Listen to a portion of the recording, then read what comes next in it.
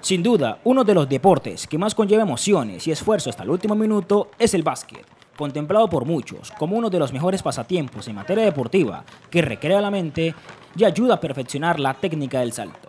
De acuerdo con lo que dan a entender los expertos, uno de los beneficios de practicar el baloncesto en la población juvenil es que mejora la resistencia metabólica y cardiovascular, porque al ser un deporte muy completo e intenso en su práctica, combinado en resistencia y ejercicios interválicos, beneficia al cuerpo en cuatro conceptos.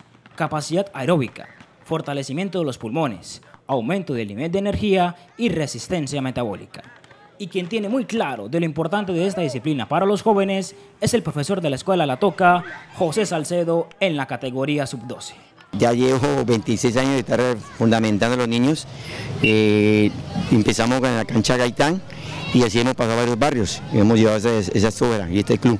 Salcedo, entrenador del equipo La Toca, dio a conocer cómo se centran los entrenamientos de sus dirigidos y el diario vivir de los partidos desde el lugar de técnico. Formativo. La competencia prácticamente lo hacemos ya de 12 años en adelante. Vamos con un proceso del año pasado con, dos niños aquí en, la cancha Tapias y también en la cancha Huascara, un proceso de niños de 5 años a 12 años. Adicionalmente, dejó un mensaje para los jóvenes. Estamos invitando aquí la cancha Tapias, el Cerro, los entrenamientos martes y jueves de niños de los edades de 7 años a 14.